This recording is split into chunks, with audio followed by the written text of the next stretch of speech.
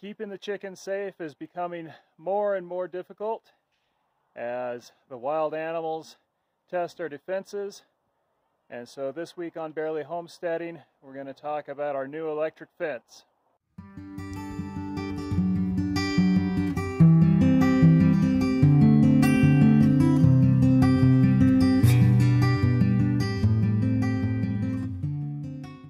So the bear attack that we had uh, a couple weeks ago uh, taught us a couple things. One, our defenses are pretty good. Our fence kept the bear out and uh, kept the chickens safe. But we can't be repairing fencing all the time. We need something that's going to keep the bears and the mountain lions actually away. So we've put in some electric fencing. So here you can see the electric fencing. We put up two strands one strand is about two feet off the ground and the other one's about four feet off the ground. The idea being that the lower one is going to stop animals that are coming around sniffing. They're going to hit that lower uh, line and get zapped.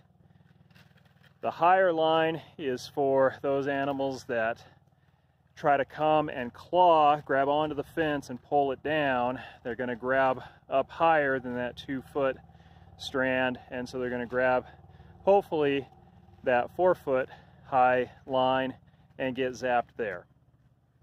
Now, every electric fence needs an energizer. And we have had power in the garden here for a while.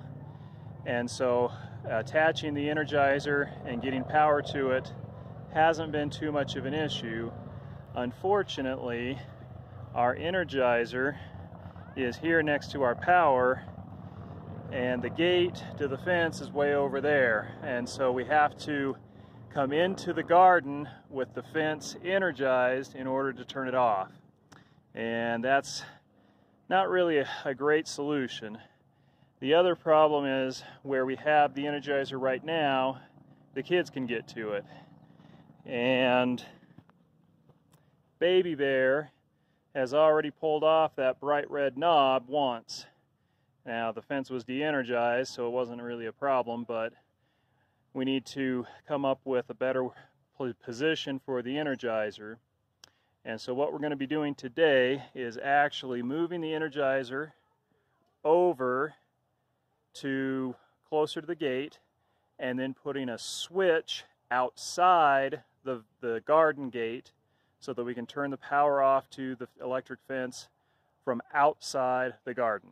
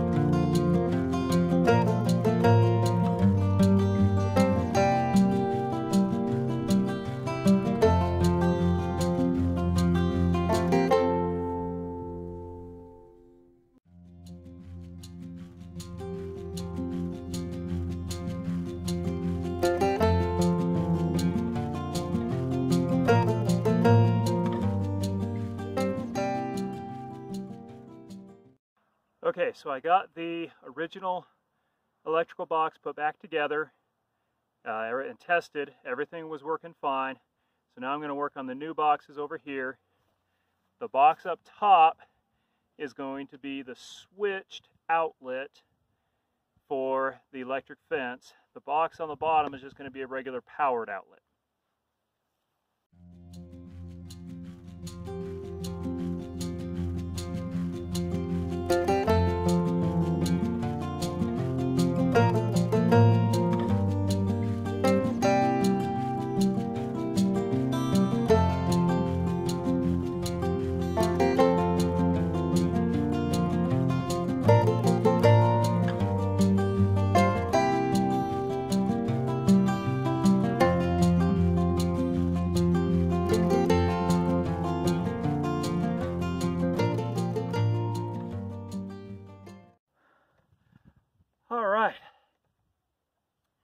So both outlets are working, just tested them.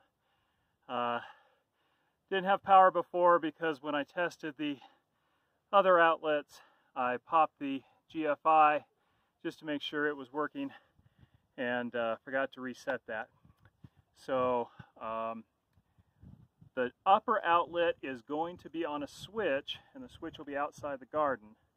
But for right now, I don't have a piece of flexible conduit to make the jog from inside the garden to outside the garden. I need to go pick one of those up. So I can't put the uh, switch, uh, get it wired up quite yet. So the upper outlet right now is just hardwired. Um, once I get that piece of flexible conduit, we'll get the switch on and then that upper uh, outlet will be uh, powered by the switch. And so let's get the let's get the electric fence uh, all hooked back up so that it can uh, work tonight and through the rest of the weekend until I get that piece of conduit.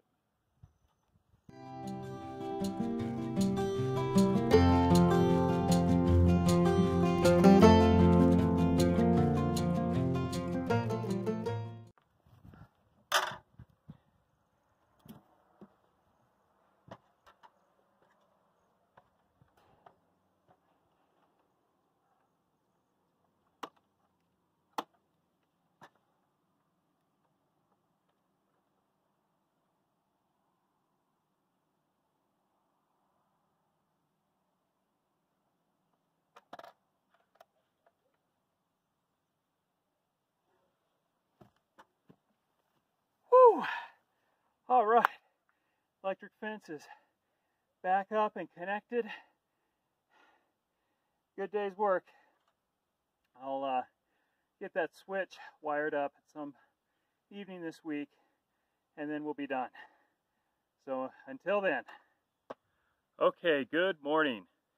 And we are going to get the electric fence finished this morning uh, we didn't get back to this project as soon as I would have liked. We had another project that took a bit longer than expected. So we're going to finish this up. We're going to get the switch put in uh, for this upper outlet so that we can turn the electric fence on and off outside of the garden.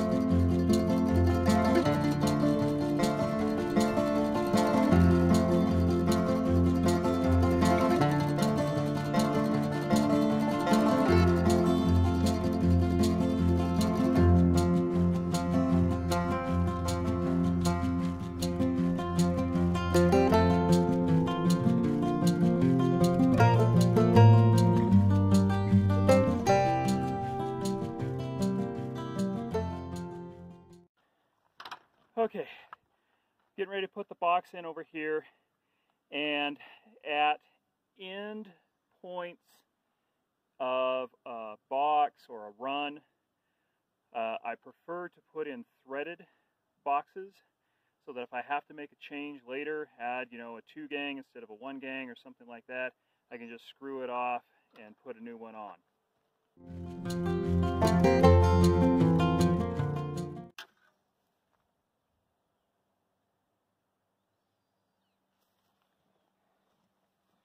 These cutters are specially made for this type of wire.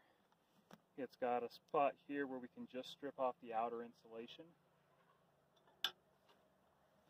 Okay, so can do that. Now, uh, Engineer Bear is going to learn a little bit about electricity right now. So in a, this is what we call a two conductor wire. Okay, the reason it's a two conductor wire is because there's two wires that are meant to be conductors, and then there's this uninsulated wire which is a ground wire. Okay, that's for safety. The black wire is what's called the hot wire. That's the wire that has the that is always energized. Okay, and so when the power's on, if you touch the black wire, you're going to get a shock. White wire is called the return. In order to get electricity to flow, the black and the white have to get connected. Okay? Now what we're doing here is this switch that we're going to plug the uh, energizer for the electric fence in is going to be is going to be connected to this switch, which means that the hot wire, the black wire up there, is going to run over to this switch.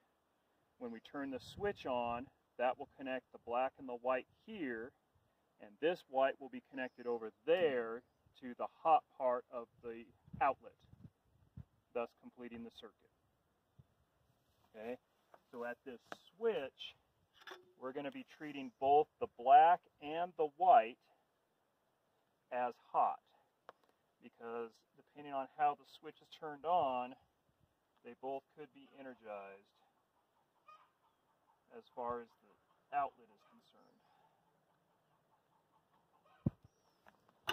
And so when we do something like that, we're going to put some black tape on that white wire so that if someone looks at it later, they know that this could be a hot wire.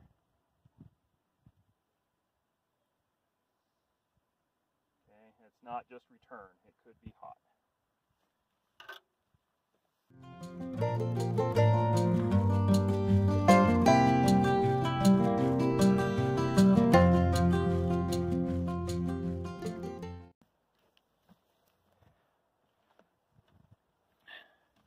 All right, since this is an outside switch uh, that's going to be out in the weather, got to make sure that we use a special switch plate this switch plate is completely sealed. There's a gasket on the back side. And then around this switch uh, axis, axle, there's an O-ring in there. So this is completely sealed and you can still turn the switch on and off.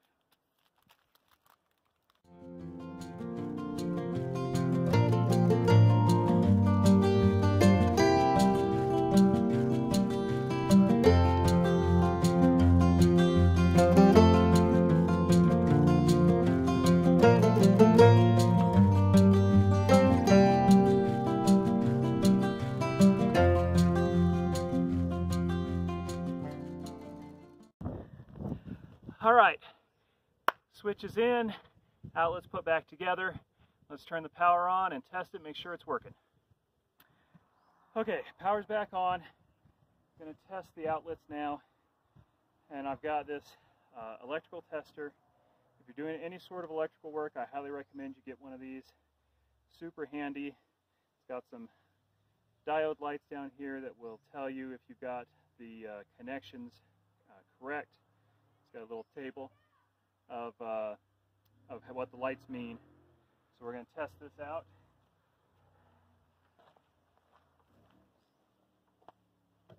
That one's good. I'm going to need you to go outside to the switch in a minute.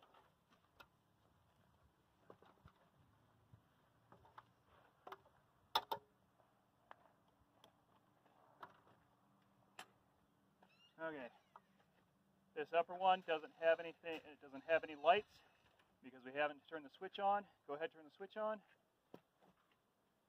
And we got good lights. Turn it off. And they're back off again.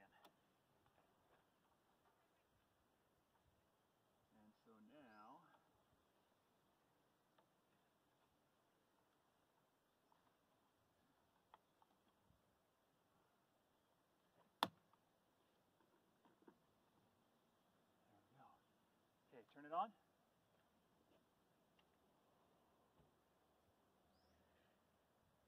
Fence is on. Turn it off. Good. All right. So electric fence is complete. This is going to be a great addition to the garden as far as protection goes.